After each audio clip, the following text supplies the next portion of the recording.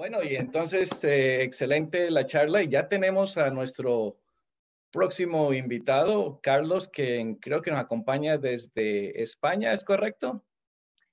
Sí, ¿de qué se trata esta conferencia? Estás en eh, mudo, estás en mudo, Carlos. Mientras, mientras arregla ahí voy a, a, mencionarlo, voy a ir presentando lo que vamos a ver en este momento. Dale. La conferencia es Establecimientos de un marco de trabajo moderno para la gestión de identidades y accesos Hoy en día, Edgar y todos los asistentes y todos los patrocinadores, las tecnologías innovadoras como la biometría, la autenticación multifactor, la recopilación de señales contextuales y el análisis impulsado por la inteligencia artificial son herramientas definitivamente esenciales para reinventar las experiencias de consumidores de servicios digitales.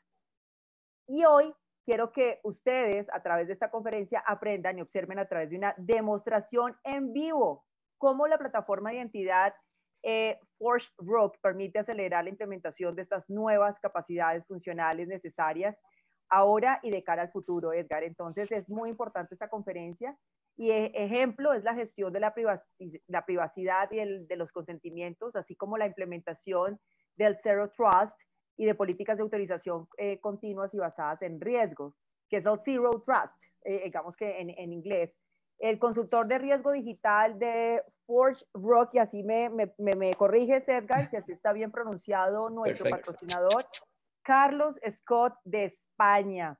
Actualmente Carlos es consultor de riesgo digital en, Forge Rock y trabaja con organizaciones de servicios financieros a nivel mundial, solucionando desafíos complejos de identidad digital y regulación en los dominios de seguridad digital y además cibernética.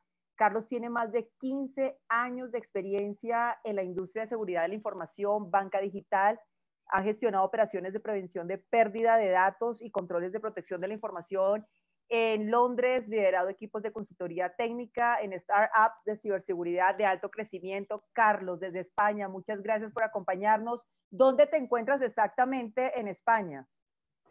Sí, muchas gracias por la presentación, Maritza. Eh, en efecto, Edgar, estoy en Barcelona, en España.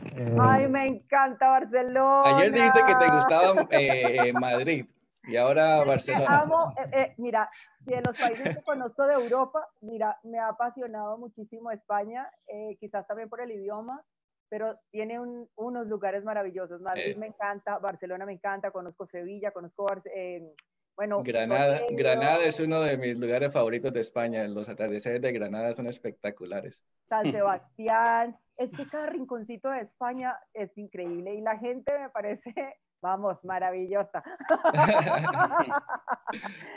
Carlos, bienvenido y bueno, desde las tierras lejanas, desde Colombia, Barcelona, qué rico que estés acompañándonos en ciberseguridad de Tactical Edge Virtual. Muchas gracias, Maritza.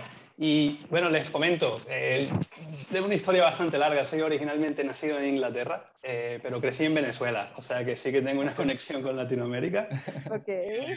Sin embargo, tengo ya 14 años aquí en Europa y eh, después de pasar 12 años en Londres, eh, me vine a España buscando un poquito de sol. Y vivir en Barcelona fue siempre un objetivo personal. Estoy por acá. Excelente. Tiene un problemita de audio pequeñito, pero no hay ningún problema. Eh, vale. Cualquier cosa me dices, Edgar. Perfecto. Entonces, ¿lo dejamos, Maritza, o lo dejamos, eh, partir? Y, arranca pues con tu conferencia y muy atentos a tu charla. bienvenido pues, Force Rock, bienvenido Force Rock. Gracias. Muchas gracias. Y la pronunciación está muy bien, Maritza. Ah, uno. Eh, pasamos directamente a la presentación. Eh, Y un poco, como comentó Maritza, lo que queríamos hablar hoy es un poco cuál ha sido eh, la, historia y la evolución eh, de los procesos de gestión de la identidad digital. Em, y además, como mencionaste, mostrar una breve demostración eh, de cómo ForgeRock ayuda a las empresas digitales modernas a explorar nuevos modelos de negocios basado en experiencias digitales innovadoras estas experiencias, cuando hablamos de experiencias digitales innovadoras, fundamentalmente se apoyan en cinco pilares eh, de los negocios digitales exitosos. Eh, comenzando con la imperativa de la conectividad, que es algo que hemos estado hablando mucho eh, a través del evento, tanto ayer como hoy. con la situación del COVID-19 que ha requerido buscar nuevas maneras de interconexión, pues a día de hoy es más relevante que nunca que clientes, empleados y socios puedan acceder desde cualquier dispositivo a cualquier hora y desde cualquier ubicación a los servicios que necesitan acceder. También la interconexión genera oportunidades de negocio, eh, ya que interconectar distintas comunidades, eh, distintas tecnologías eh, y distintos entornos para proveer estas, experiencias innovadoras,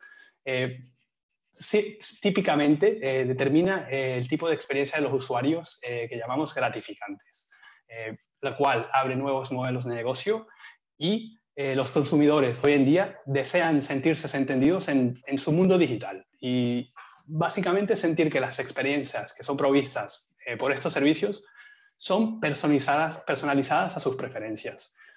Eh, se utiliza mucho actualmente el término hiperpersonalización y la hiperpersonalización de los servicios se basa principalmente en conocer al cliente sus preferencias, qué le gusta, qué no le gusta, cómo desea interactuar con el servicio, para proveer un servicio a medida para cada cliente individual, independientemente de si tienes millones o cientos de millones de clientes.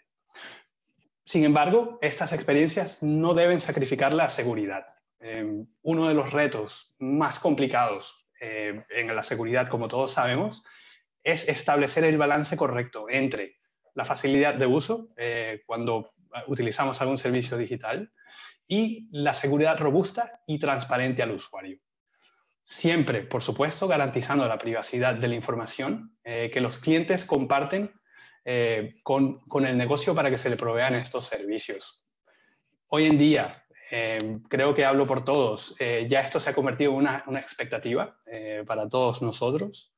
Eh, ya que todos decíamos, obviamente, que se respete nuestra privacidad eh, cuando compartimos información de carácter personal o de carácter sensitivo eh, con proveedores de servicio.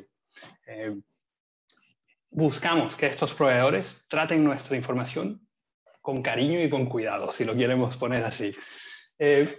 Todos estos temas que les estoy hablando, los pilares fundamentales de un negocio digital exitoso, eh, típicamente los asociamos a un término que escuchamos comúnmente en la industria, que es el término de la transformación digital. Y la identidad es el hilo común que se requiere para proveer servicios y productos digitales interconectados, satisfactorios y que garanticen la privacidad del usuario. Eh, algunos de nosotros, ya entrando un poco en cómo ha sido la evolución eh, de, la, identidad, que ha ido mano a mano con la evolución de la tecnología en general, pues algunos que llevamos ya cierto tiempo en la industria hemos visto cómo la gestión de la identidad ha evolucionado en, los últimos 25 o 30 años. De hecho, originalmente no existía el concepto de gestión de la identidad. Eh, se hablaba realmente de usuarios y aprovisionamiento de cuentas de empleados, buscando típicamente la productividad de los empleados y lograr acceso a sistemas corporativos. Según con el tiempo fueron surgiendo nuevos modelos de negocio basados en colaboración con otras organizaciones, eh, basados en outsourcing también, eh, pues fueron surgiendo nuevos estándares y mecanismos de interconexión eh, para lograr que la identidad fuera relevante en estos entornos de mayor complejidad. Estos estándares típicamente son lo que llamamos el single sign-on, que permite autenticar contra un servicio y acceder un conjunto de servicios sin volver a autenticarse y esquemas de federación eh, que permiten establecer eh, confianza entre eh, las plataformas de identidad de dos organizaciones distintas. Básicamente, organización A, los usuarios pueden acceder transparentemente a los sistemas de organización B, en este caso. Ahora, más adelante, eh, con la explosión eh, de la Internet y como la solidificación del Internet como un medio esencial para, para, proveer, para negocios y para proveer servicios y promocionar productos, se introdujeron los conceptos de la apertura del perímetro, o lo que decimos, la pérdida del perímetro. Y eh, eso determinó un poco la, e impulsó la adopción de la tecnología de nube y, y tecnología cloud. Y actualmente, eh, con la explosión de la cantidad y la variedad de dispositivos con los cuales interactuamos diariamente, eh, que incluyen los dispositivos clásicos como ordenadores, computadores y, teléfonos móviles, pero también cada vez más sensores que hay en ciudades inteligentes con los cuales interactuamos sin darnos cuenta. También asistentes digitales, cosas conectadas.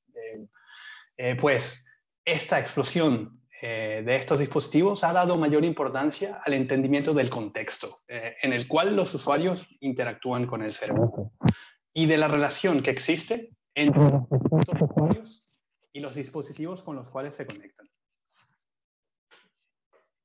Cabe resaltar en este caso que una de las principales cosas que, que ha marcado esta evolución es el, aumento de la complejidad y el volumen de elementos que se requieren para gestionar estos distintos escenarios.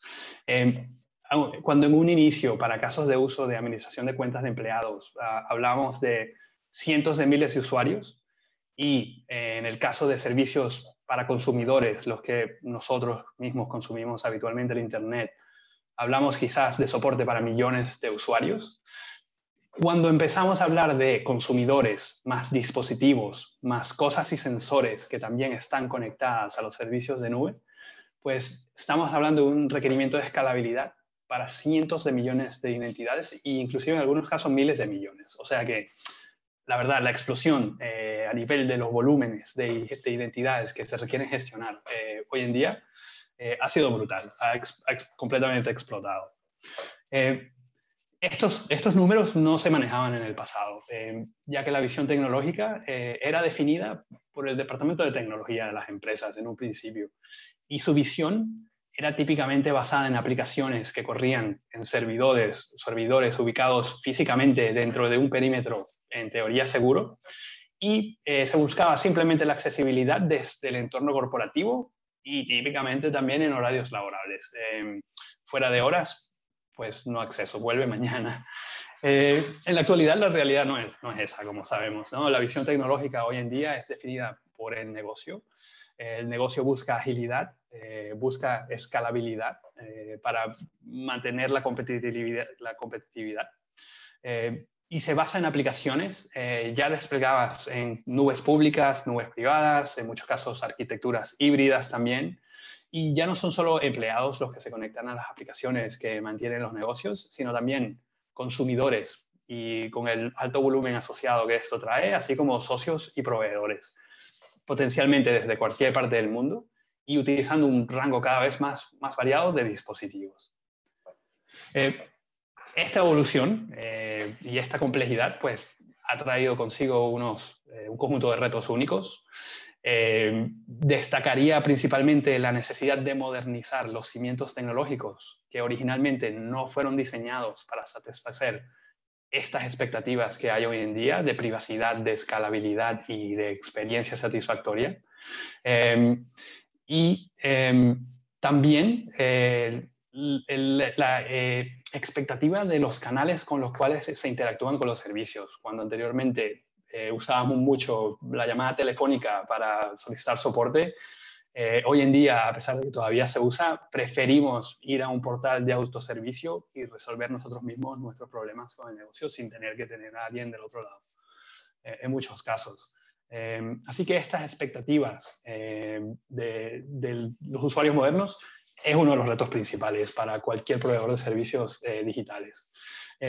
además, la agilidad y la escalabilidad que se requiere para satisfacer picos de demanda es algo muy común en los medios, eh, en la industria de medios, por ejemplo, en, o en la industria del, gaming o del retail, em, en las cuales cientos de millones de usuarios se conectan por un corto periodo de tiempo para ver un partido de fútbol o probar el nuevo videojuego que ha salido. Eh, y la semana siguiente o dentro de dos semanas, eh, pues ese pico disminuye y en vez de 100 millones de usuarios, tienes 5.000 usuarios. O sea que se requiere esa, escalabilidad hacia arriba y hacia abajo. Un poco como anécdota, eh, en Forchock trabajamos eh, mucho en la industria de retail también. Eh, aquí en España trabajo directamente con Inditex, que es la compañía que tiene todas las tiendas de Zara, Bershka, pues muy conocidas en todo el mundo. Y típicamente estoy allá en La Coruña todos los Black Fridays cada año para asegurar de que sus sistemas escalan para el tipo de picos que ven eh, durante los entornos de Black Friday, en los cuales estamos hablando de 20.000 transacciones por segundo, eh, que la verdad es bastante impresionante verlo. Eh, también trabajamos mucho en el Reino Unido con la BBC y hace unos años hubo un, un, domingo en el cual hubo la boda real y al mismo tiempo la final de la Copa de Fútbol, de la Copa Inglesa. Eh, o sea que básicamente 20, 30 millones de usuarios conectándose a la vez al servicio trae consigo un reto de escalabilidad bastante importante, el cual eh, ayudamos a nuestros clientes en Fortune a, resolver, eh, incluyendo también el desarrollo de nuevos modelos de negocio, que estamos viendo la emergencia de nuevos modelos de negocio basados en, ecosistemas, un poco poniendo al, al desarrollador como cliente eh, para que construyan soluciones sobre la tecnología que provee el negocio. Eh, estos requieren interconexión de entornos tecnológicos muy heterogéneos y una mejor visión del cliente como eje principal de, estas soluciones. Ahora, ¿cómo afrontamos estos retos y cómo en ForTruck eh, permitimos a nuestros clientes afrontar estos retos? la forma más efectiva es cambiar el paradigma tradicional del perímetro, que como sabemos ya se ha eliminado, y nosotros ayudamos a nuestros clientes a establecer la identidad, el cliente como tal, como el núcleo de la seguridad. Eh, esto actualmente se conceptualiza como identidad como nuevo perímetro. Eh, ¿Qué implica esto? Que las decisiones de seguridad deben ser basadas en la identidad de los usuarios y los parámetros de la identidad del usuario. Eh, y esto últimamente determina quién puede tener acceso a qué, cuándo y cómo. muchos sistemas de gestión de la identidad fallan al implementar este modelo eh, ya que se requiere el soporte de tecnologías de cloud, eh, muchos tipos de dispositivos distintos y metodologías de autenticación de usuarios, por ejemplo, además de lograr escalabilidad para miles de millones de usuarios y, transacciones. Em, según nuestra visión, una plataforma moderna de gestión de identidades y accesos debe ir más allá de la identidad ya que solo esta no es suficiente para determinar las decisiones de seguridad correctas. Eh, se debe poder entender el contexto de cada interacción que los usuarios tienen con el servicio y a su vez la relación que existe entre el usuario con ese contexto y la relación que existe entre los distintos usuarios en contextos distintos o similares para poder lograr el balance correcto entre seguridad y usabilidad y poder proveer una experiencia satisfactoria eh, para el usuario que interactúa con el servicio. Y con esto eh, les presento la plataforma de gestión de identidad digital de Fortrock. Eh, nuestra misión es eh, ayudar a nuestros clientes a gestionar identidades y accesos para impulsar su negocio digital y ayudarlos a transformar el negocio en un, en un negocio 100% digital. somos el único proveedor en el mercado que abarcamos funcionalidad de gestión de identidades y accesos de principio a fin. Eh, con eh, los cuatro componentes principales de nuestra plataforma, eh, que es el componente de gestión de identidades, lo vemos aquí como el Identity Management, que se encarga de todo lo que es la gestión del ciclo de vida de la identidad como tal. tenemos un componente de Access Management también, en el cual implementamos todos los recorridos de seguridad tanto de autenticación de los usuarios, autorización de accesos y transacciones, así como esquemas de federación, eh, como el OAuth y el OIDC.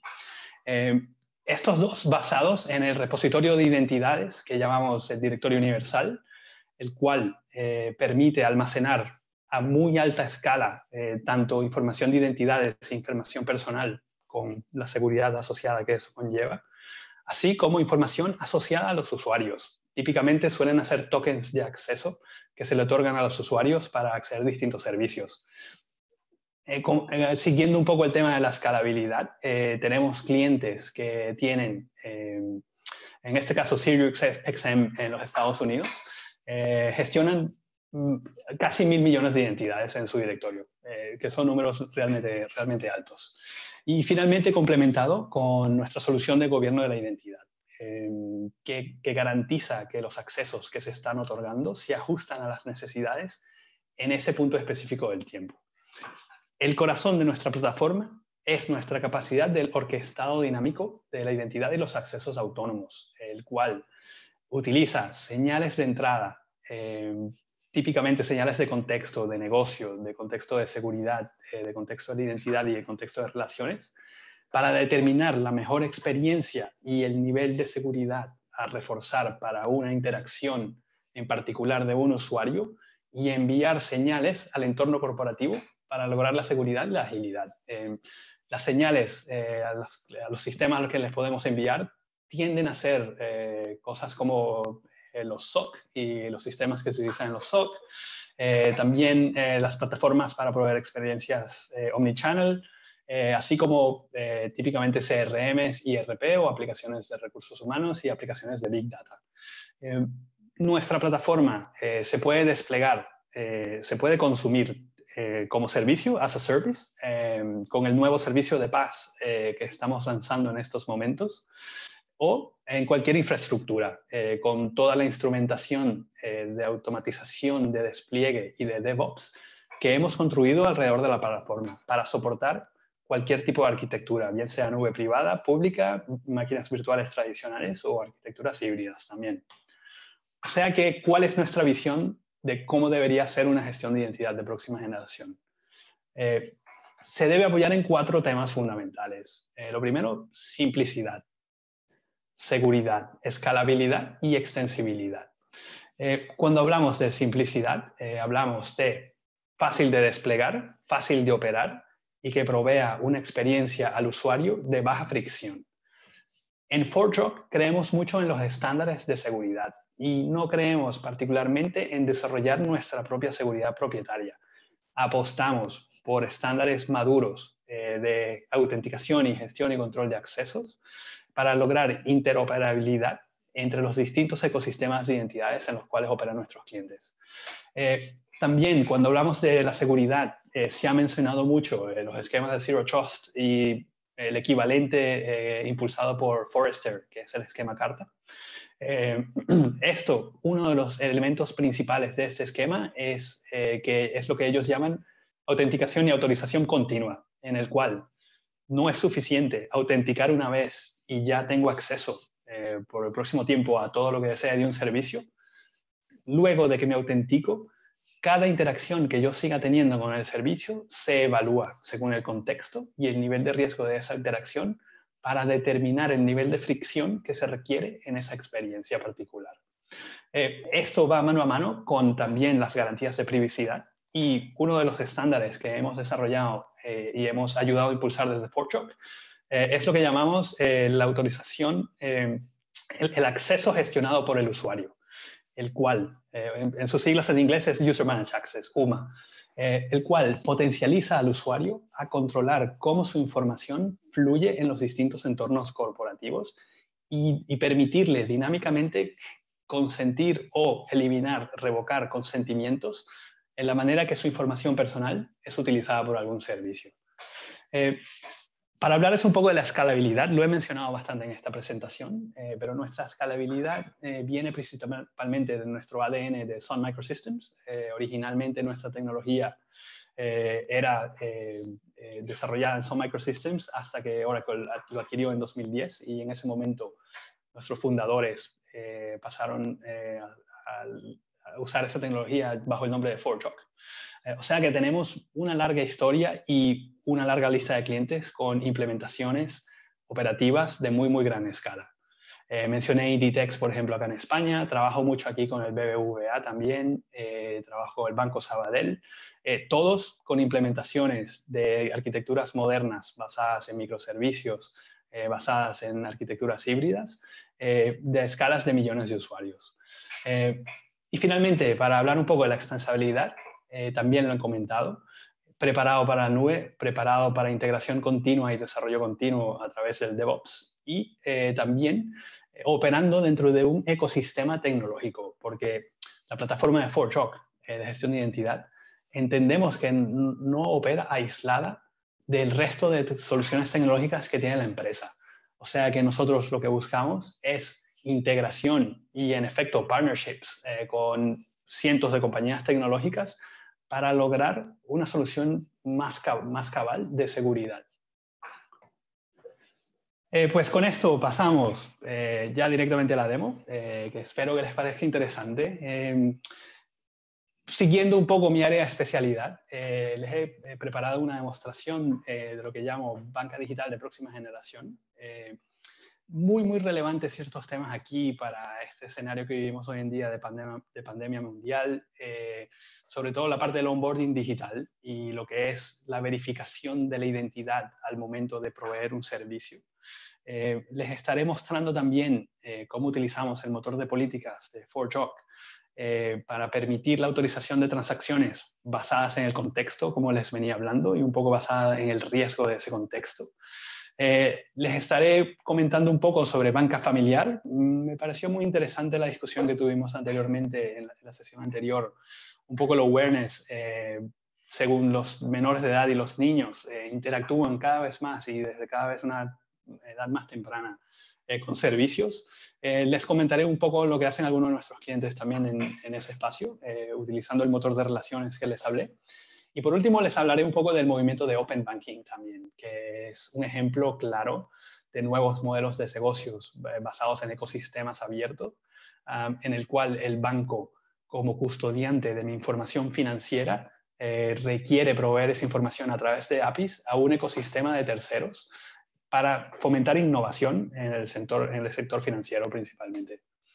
Eh, pasamos a la demo. Eh, un poco para aclararle lo que estarán viendo aquí en la demo. Eh, uso un servicio eh, bancario digital ficticio que llamamos ForgeBank. ahora, nosotros no estamos en el negocio de construir banca digital, obviamente. Esta es una aplicación demo, no es un banco real. Y esta aplicación la hemos construido un poco para demostrar cómo una aplicación de banca digital común puede interactuar con la plataforma de ForgeRock y cómo la plataforma de ForgeRock realiza el orquestado de todos los recorridos del usuario que les estaré demostrando ahora.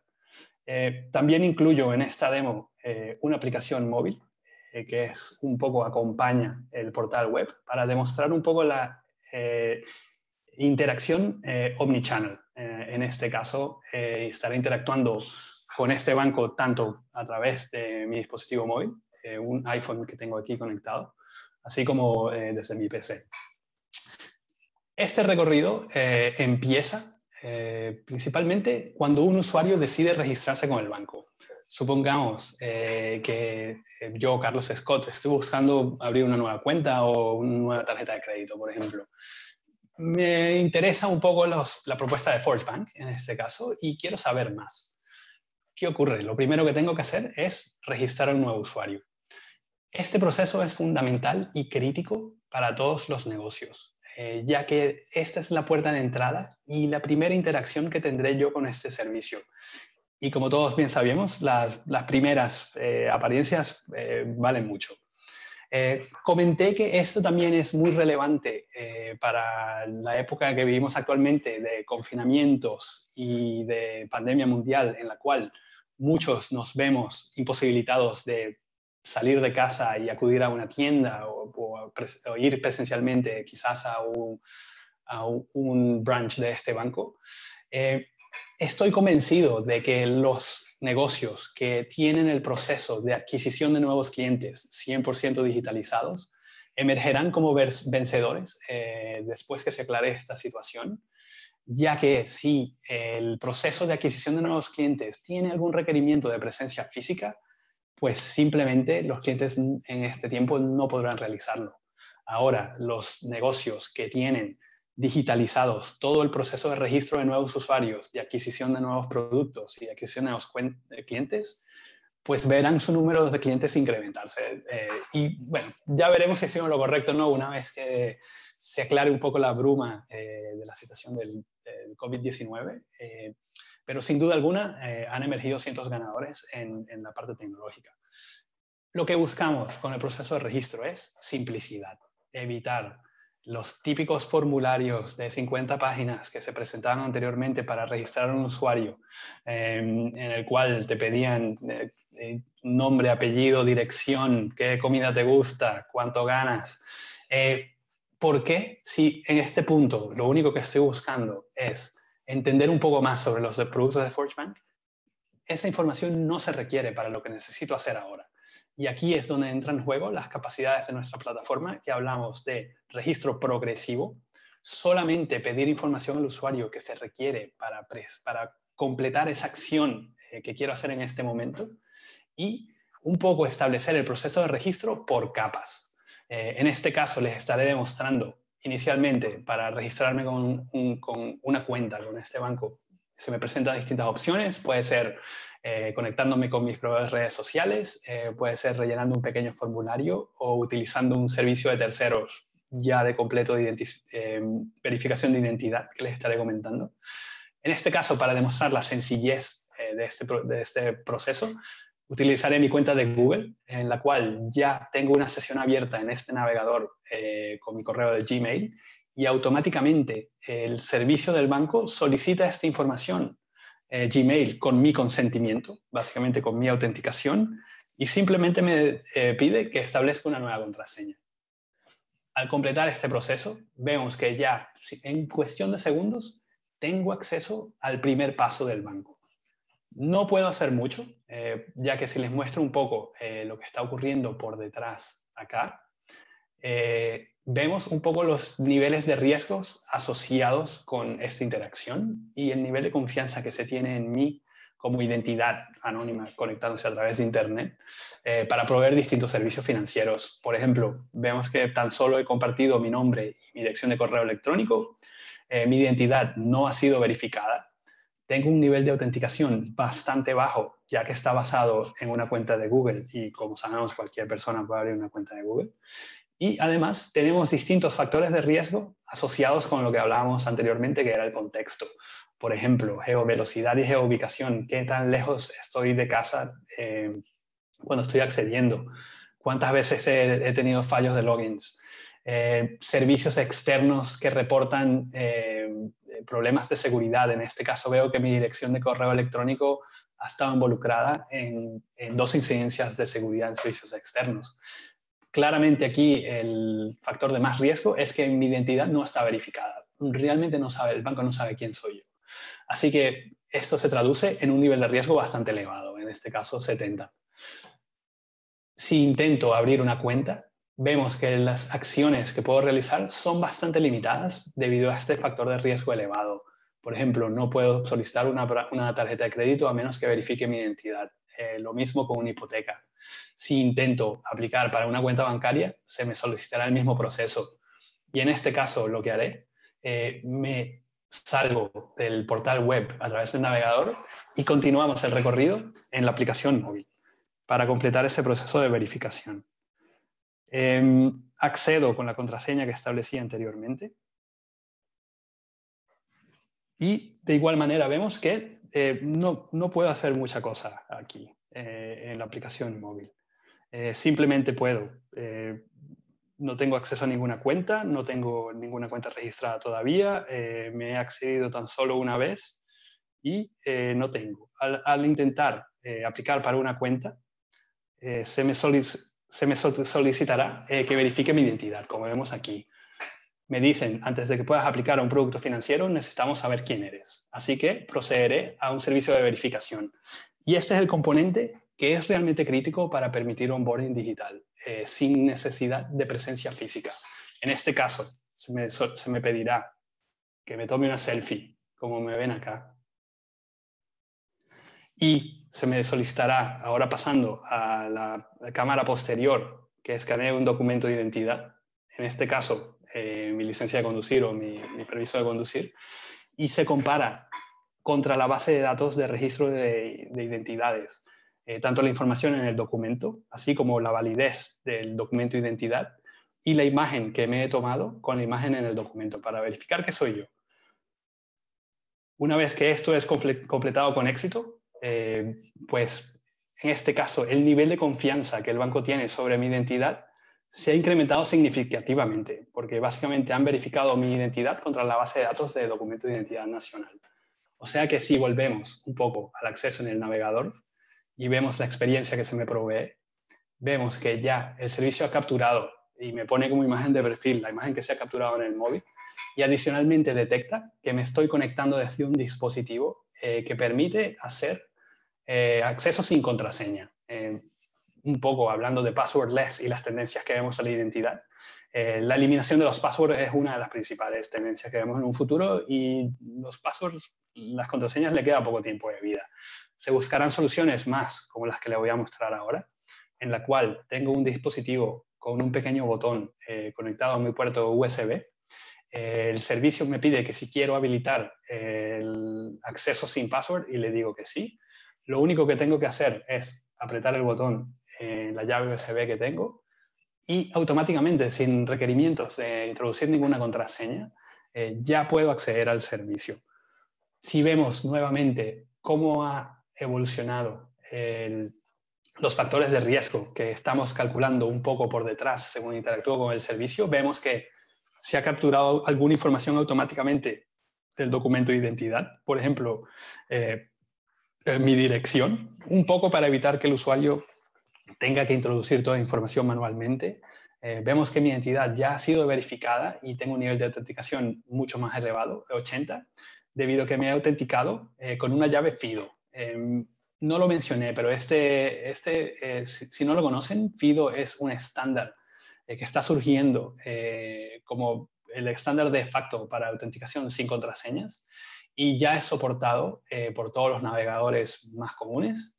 Em, lo que se espera es que todos los dispositivos que compremos en un futuro ya tengan la posibilidad de usar este estándar para autenticarnos, bien sea sin contraseña o bien sea eh, utilizando esta capacidad como segundo factor.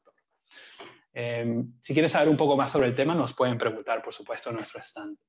Eh, como comentábamos, vemos que el nivel de riesgo se ha reducido significativamente. Ahora el nivel de riesgo se ha calculado como 20, eh, debido a que ya la identidad ha sido verificada y eso ha eliminado el riesgo a cero eh, de la identidad.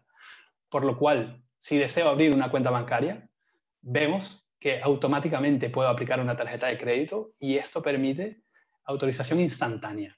En cuestión de segundos, bueno, quizás minutos, eh, puedo tener acceso a una cuenta corriente de este banco debido al proceso de verificación digital eh, que se ha hecho contra mi persona.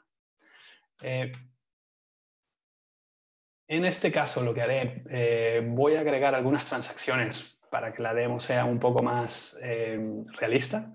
Eh, hablamos un poco en la descripción de la gestión de consentimientos y gestión de preferencias. Esto es muy, muy importante. Básicamente permitir al usuario el autoservicio y que se gestione él mismo su información de contacto, que gestione él mismo sus preferencias, por ejemplo. Muy importante con las nuevas regulaciones de privacidad permitir eh, que el usuario deniegue o acepte a recibir eh, comunicaciones de marketing, por ejemplo, eh, un poco ponerlo en control de cómo su información se utiliza en este ecosistema.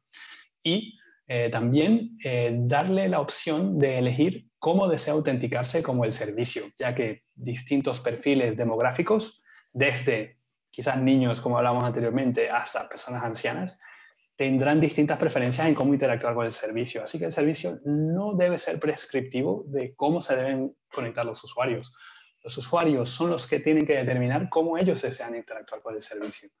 Eh, en este caso, eh, una de las cosas que hacemos muy, muy bien en Fortshop es el soporte de distintas capacidades de autenticación, tanto las que proveemos nosotros mismos con nuestra plataforma, eh, así como las que Em, eh, integramos de otros proveedores que se especializan quizás en áreas como la biometría, en el cual tenemos proveedores como Dayon o Hyper que hacen cosas como reconocimiento facial muy bien, eh, también reconocimiento eh, de huellas basado en cuatro dedos que se colocan sobre la pantalla, muy innovador también.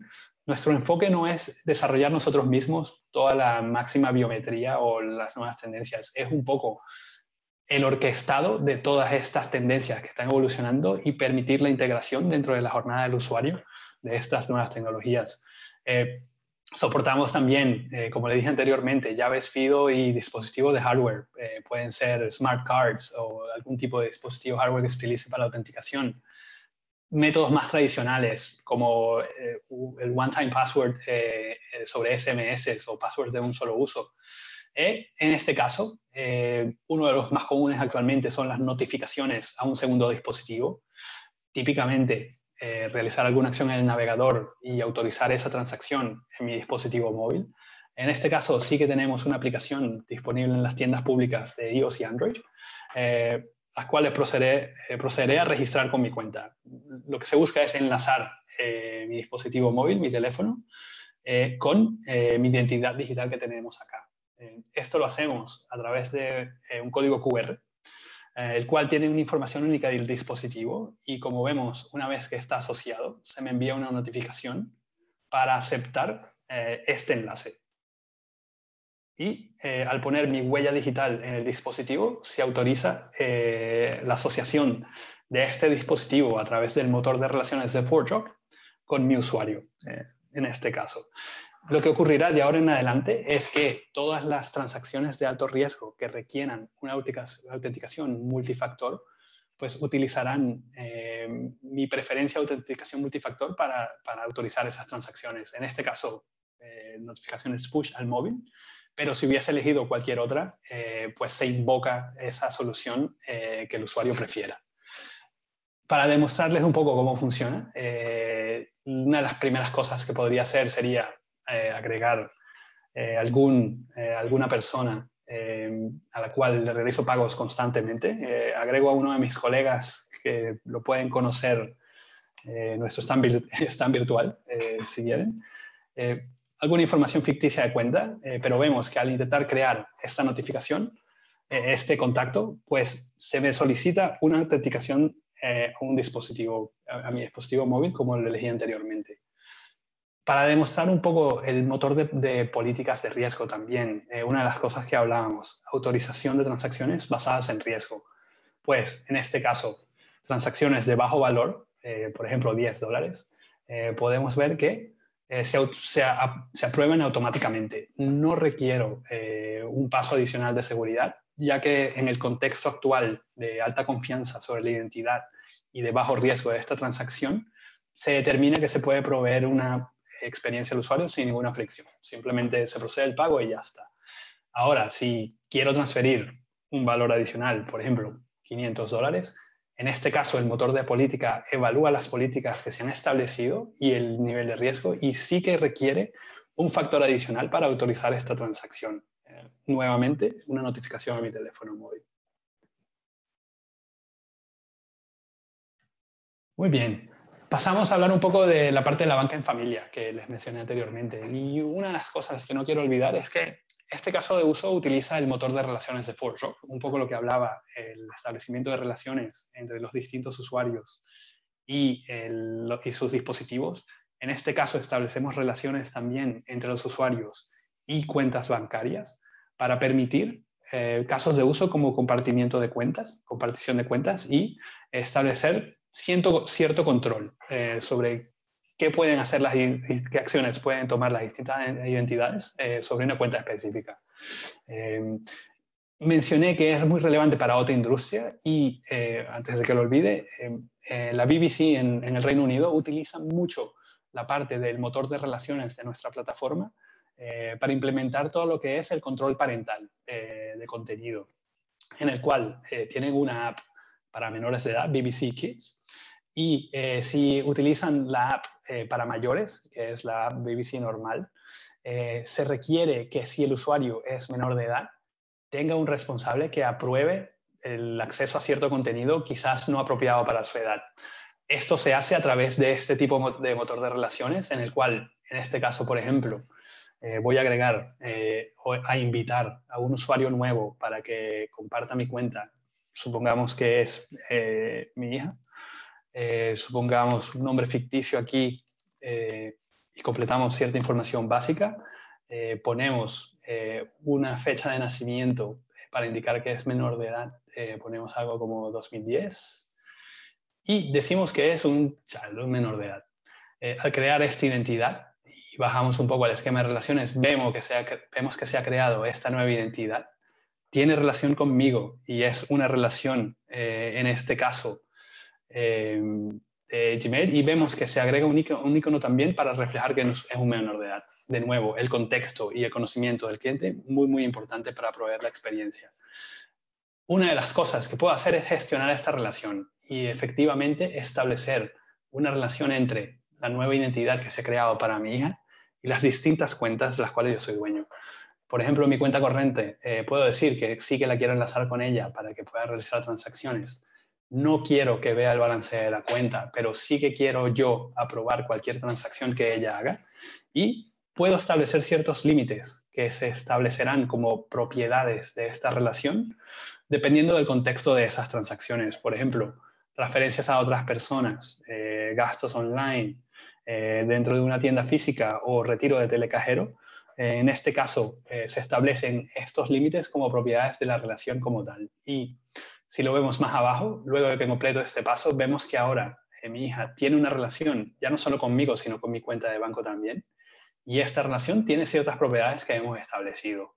por ejemplo, no puede ver el balance de la cuenta y sí que puede realizar ciertas transacciones, pero solo hasta cierta cantidad de límites. Cualquier transacción que supere estos límites requerirá aprobación de mí como representante. Y finalmente, ya el último caso de uso y pasamos a la parte de preguntas. Eh, mencioné que hablaríamos un poco de Open Banking. Eh, el Open Banking es un área que, bueno, yo personalmente estoy bastante involucrado y en Fortune en general estamos muy involucrados en ayudar a definir los estándares eh, de APIs financieras que soportan el Open Banking Em, yo personalmente he estado involucrado en, Londres, en el Reino Unido, en los grupos de trabajos que han definido el estándar de UK Open Banking, Open Banking en, el Reino Unido. Eh, y sí que vemos esto ya como un movimiento a nivel mundial. En Latinoamérica, ciertamente en Brasil, México, Colombia, eh, quizás en la delantera y Argentina, quizás en la delantera de, de este movimiento. Para los que no conocen un poco lo que es el Open Banking, se basa principalmente en establecer y impulsar la innovación en servicios financieros al permitir a terceras empresas, típicamente lo que llamamos las fintech o las empresas tecnológicas de finanzas, eh, a acceder la información de clientes en bancos establecidos para poder proveer servicios financieros innovadores. Esto requiere, por supuesto, la autorización de yo como cliente eh, para que este servicio tercero pueda acceder a la información de mis cuentas y también requiere autenticación robusta, como las que les he estado mostrando hoy, eh, para asegurarse que cuando un tercero intenta, eh, bien sea realizar una transacción contra mi cuenta o acceder a cierta información de mi cuenta, yo esté ahí para autenticar con un alto nivel de certeza de que esa operación la estoy realizando yo. En este caso lo que les quiero mostrar es un flujo de Open Banking eh, basado en un servicio de agregación de cuentas, en el cual uno de los casos de uso más típicos es el utilizar un servicio de tercero eh, para eh, gestionar todas mis cuentas en un solo sitio. Eh, un problema bastante común para las personas que tienen ya un tiempo operando en, en, el entorno es, tengo cuentas con cinco bancos distintos, no tengo una visión global de mis finanzas.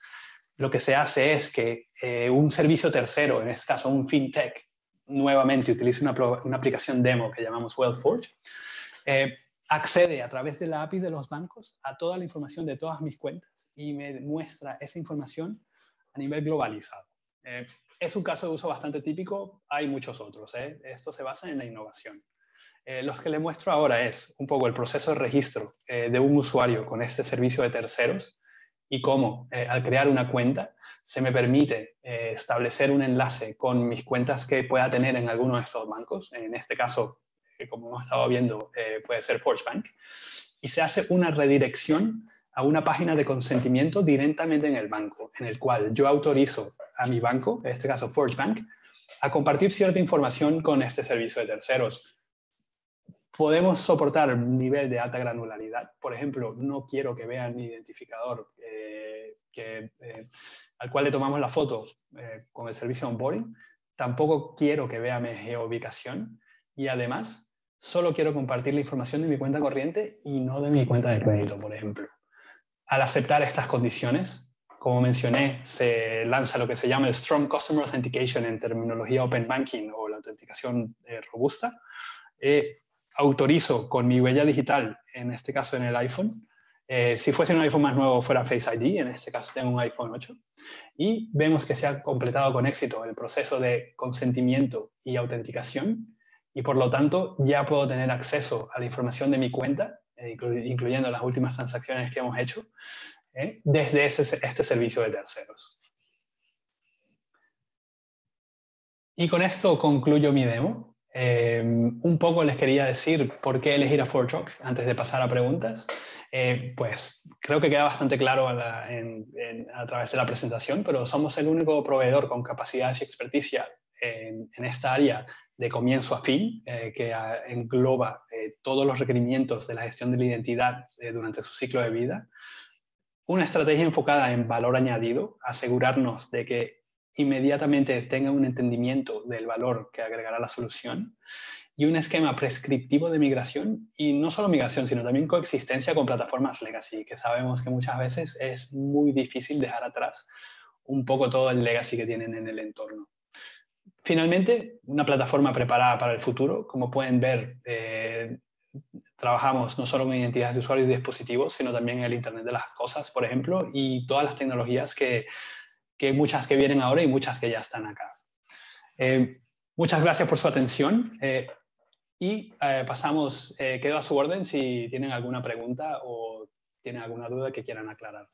Claro que sí, Carlos. Aquí hay preguntas y me encantó este demo. Aprendí un montón. Espérate, yo prendo acá mi camarita para que me veas. Hago lo mismo yo. bueno, mira, una de las preguntas. La app de móvil, a ver, espérate un momento y amplío acá la, pregunta. La app de móvil permite primero autenticación eh, barométrica para luego más bien em, otorgarme un, un token. Un token, bien. Sí, al, fin de cuentas existen distintos esquemas, eh, pero la mayoría basados en tokens de distintos tipos. Pueden ser un token eh, single sign-on, el cual te permite acceder a distintas aplicaciones con ese token, o puede ser un token eh, de esquemas de federación, como un token OAuth 2 o un token OIDC también. son algunos ejemplos. aquí hay un comentario muy bueno que dice excelente presentación, así que felicitaciones. Y dice que sí sí que ya van de salida las contraseñas. Eh, interesante. Sí, eh, yo creo que no, no, veo el día en que ocurra, eh, te lo digo, porque está bastante bien establecido que la contraseña es el punto débil de la seguridad. tanto las contraseñas que eligen los usuarios de baja seguridad, tanto como la reutilización de las contraseñas para muchos distintos servicios. Perfecto, perfecto. Eh, Maritza, hay un anuncio que queremos hacer acerca de Force Rock. Carlos, Carlos, esto es una gran sorpresa que ustedes le tienen a los asistentes de Force Rock y yo quiero saber cómo yo también puedo participar, si es que puedo participar, Edgar, si me lo permite. Pero espera, que yo, es que yo quiero, yo quiero ver la reacción de Carlos, si Carlos puede habilitar la cámara. Por favor, sí, sí, sí. sí.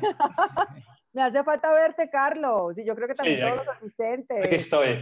Oye, ¿cómo así que van a dar un bono de Amazon de 100 dólares? Yo quiero eso. ¿Cómo podemos participar? Los asistentes, ¿cómo pueden participar para adquirir un bono? O sea, 100 dólares me compró una ropita, un micrófono, o sea, me compró una cantidad de cosas. sí, correctamente. Eh, sí que estamos rifando eh, de forma aleatoria eh, hemos rifado de forma aleatoria a todas las preguntas, todas las personas que han hecho preguntas a través de la presentación como agradecimiento por su atención. Eh, hemos rifado un voucher de 100 dólares para Amazon y me complace informarles que tenemos un ganador. ¡Wow! ¿Así? Joder, madre. Ah, bueno, primero que todo, antes de que lo anuncien. ¿Ganador? Sí, sí, hay un ganador. Pero primero que todo, antes de que lo anuncien, ¿cómo van a confirmar la, la identidad del ganador. Porque aquí tenemos muchos profesionales de ciberseguridad que van a decir, soy yo. Eh, pues me tendrán que hacer como hice yo en la demo y me tendrán que presentar el documento aquí en la cámara. ok, ¿y cómo fue esto? Explícame cómo fue la metodología, qué pasó con esta la gente participó ayer. A ver, cuéntame un poco como para que los asistentes sepan y, y quiénes se gana, quién se ganó este bono de 100 dólares por Amazon para comprar cosas en Amazon. Sí, pues para que no piensen que era que los teníamos enganchados, no hemos dicho nada al principio, eh, para que no piensen que era que, tenían que pasar por la presentación. Eh, La forma en la que hemos hecho es que toda la gente que ha interactuado a través del chat y ha realizado preguntas, eh, hemos elegido las preguntas más interesantes y Ah. hemos elegido aleatoriamente un, un ganador, que ya lo tenemos. Excelente. ¿Lo pueden anunciar o lo van a anunciar en privado? Lo anuncio en estos momentos. Ah, Y el ganador es... Elkin Ferney. ¿cómo? Ferney Quintero Gómez, director de Seguridad e Información de Colfondos. ¡Wow! ¡No puede ser! Lo tuvimos sí, esta sí. mañana. Con él estuvimos esta mañana. Felicidades, Bueno, ¿Qué Elkin. hizo para ganar? ¿Qué hizo para ganar? A ver, cuéntanos qué, qué pasó, por qué Elkin ha estado juicioso ahí. Eh, aleatoriamente los participantes de la conferencia hemos sacado el sombrero y hemos, ha salido el nombre de Elkin. Bueno, Ah, pues bueno. felicitaciones a Elkin. Y eso pasa. Edgar, por la constancia, la disciplina, por estar ahí permanentemente en las conferencias, por estar navegando en los diferentes stands y, y Porsche Rock, pues entrega un bono de 100 dólares para hacer compras en Amazon. ¡Qué maravilla! Excelente. Muy chévere, muy chévere esto. Muy- muchas gracias a. Forge Rock, excelente patrocinador y todo. Eh, cuéntame, Carlos, ¿van a tener ah, sesiones especiales en el, en el stand de ustedes, correcto? Sí, tenemos sesiones especiales. La demo que les he mostrado, eh, mi compañero Alex López estará también eh, corriendo varias demos. Nos pueden visitar en el stand virtual a cualquier hora y estamos allí eh, preparados para atender cualquier necesidad o pregunta que tengan. Así que bienvenidos sean. Excelente, excelente. Ve, y terminamos a tiempo, a las 10 y 59. ¿Qué vamos a hacer ahora, Maritza? Pues invitar a todo el mundo a que recorran los stands, los patrocinadores, que puedan interactuar, conocer más de cerca el mundo de cada uno de ellos dentro de los stands virtuales que están organizados en este evento de ciberseguridad de Tactical Edge Virtual. ¿Cuál es la idea? Esto que nos está diciendo Carlos, por ejemplo, digamos, hay más información, actividades, eh, pueden agendar sus citas de trabajo, agendar negocios, que es muy importante. También pueden ir a la sala de networking, Edgar, y lo decía Claro. esta mañana Elkin Ferney, que para él era muy importante hacer eh, relacionamiento con otras personas a nivel mundial porque les interesa mucho pues eh, acercarse en conocimientos, en ideas, porque pues claramente cada una de estas empresas trabajan en temas de ciberseguridad y proteger a sus usuarios, proteger a los administradores, que son temas fundamentales que hemos venido escuchando y viendo con cada uno de los conferencistas. Y por Así supuesto, esperarlos, 2 y 30 de la tarde, en punto, o porque estamos eh, generando como esta puntualidad y agradeciendo muchísimo la asistencia de cada uno de ustedes a este segundo bloque del segundo día de ciberseguridad, Edgar. Ah, así es, y entonces la invitación sí es para que todos pasen por los salones de los eh, patrocinadores. De nuevo, hay varios que tienen algunas eh, actividades especiales el día de hoy, eh, Sí. así que todos son invitados. Edgar, y acá yo toda juiciosa levanto la mano para no interrumpirte. Es Dale. que quiero que precises, por favor, dónde quedan grabadas las charlas para aquellas Mm. personas que por otras responsabilidades, otras cosas que Claro. están haciendo, no pudieron acceder. ¿Dónde pueden encontrar Claro. las eh, charlas grabadas, conferencias? En el, aquí mismo, en el auditorio principal, Sí. hacia abajo de la agenda, al final de la agenda, van a ver la sección que se dice On Demand y ahí van a encontrar las grabaciones de las sesiones pasadas. En este momento tenemos la- las, las grabaciones de de la ayer. mañana de ayer. Eh, que nos ha tomado un poquito de tiempo, un poco de tiempo, pero ya la estamos subiendo poco a poco la plataforma. Entonces, hoy ya van a estar listas todas las de ayer. Eh, y, y esta noche o mañana, más tardar mañana, antes de que comencemos el evento de nuevo, el tercer día, van a estar ya disponibles las de hoy. Y de nuevo, y ajá. frente a eso, cuando ya se termine el evento, esta A eso. información va a quedar en la página de Tactical Edge, es decir, la gente que quiera acceder a Tactical Edge, tu página, pueden encontrar esta información o solamente va a quedar para el evento. Es que es una pregunta que me están eh, formulando internamente. Ok, la, sí, muy, muy buena pregunta. La, el- el- la plataforma queda abierta y queda accesible para todos Ok. eh, hasta el fin del mayo, hasta el fin de mayo. O sea, la Ah, vamos a tener perfecto. abierta todo el mes de mayo. Pueden entrar las múltiples veces, pueden seguir en comunicación, networking, ver todas las grabaciones. Pueden continuar haciendo preguntas con los patrocinadores, aunque ya haya pasado el evento, que eso es ah, espectacular. buenísimo. Ahora, entonces todas las grabaciones van a estar aquí. Ya en junio, el primero de junio, ya montamos estas presentaciones en el canal de YouTube de Tactical Edge y en la ah. página web de Tactical Edge. Entonces, para todos que, sean, que están aquí, están registrados obviamente, están las, eh, las grabaciones disponibles el resto del mes. Para los colegas que quieran verlos, se pueden registrar. Está, el, registro va a estar abierto hasta final del, del mes y bienvenidos a todos. Edgar, y voy a hacer un comentario chistoso que me hicieron. Dale. Pues porque como yo soy presentadora de noticias y estaba ahorita eh, tagueando mis publicaciones para darle eh, visibilidad también a este evento con los periodistas, colegas y demás, me decían, oiga, y es que en casa no se cambian, es que no, ayer tenía una blusa azul que, que era parecida a esta, no, yo sí me cambio todos los días. Obviamente, sino que el comentario fue que también estando en casa me pongo la pinta como si estuviera presentando en un escenario en físico, porque me encanta estar bien, pero claro que, me cambie la no, no solamente eso, eso, eso también es una recomendación que hacen muchos los psicólogos y muchos profesionales de que trabajar desde casa hay que estar mentalmente programado, como lo estamos aquí todos, y parte de eso es es no trabajar desde la cama y... Y, no trabajar en pijama, por Dios, en pantuflas. Y yo me puedo poner de pie y estoy con vestidito, súper bien puesta y demás. Exacto. Nada, era un comentario chistoso que me hicieron y lo quería compartir con los asistentes, esperándolos a las 2 y 30 de la tarde en esta segunda jornada. Edgar, eh, feliz almuerzo, feliz descanso y nos vemos y recorran por favor los eh, eventos. Por favor. Muchas gracias a todos. Muchas gracias, Carlos. Muchas gracias, Fortruck y Netscope esta mañana, los dos patrocinadores que presentaron. Y muy agradecidos con ellos.